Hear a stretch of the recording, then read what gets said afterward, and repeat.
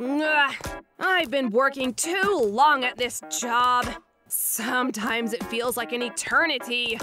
All these weird animals from a different planet, and the Chaos Emeralds, and that gross fat Eggman scientist. How did this happen? Ah, I'm tired. My back hurts. Ugh, but if Rouge heard me say that, she'd just call me an old lady again. Ugh, she's so annoying. Huh, Agent Topaz isn't an old lady, but a budding youth. A beauty! I'll be sure to be recognized sooner than later and get that promotion before she does. As long as I can focus, that is. really, why'd I have to be partnered with that bat? She's so infuriating! Thinking she's so much better than me and always pressing my buttons? Just wait, Rouge! One day you'll stop. One day you'll have more respect for me. I'm making a difference, but she's just out for what she can get.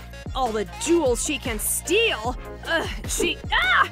Rouge! Uh, hey, how long have you been listening? Uh, hey, come back here!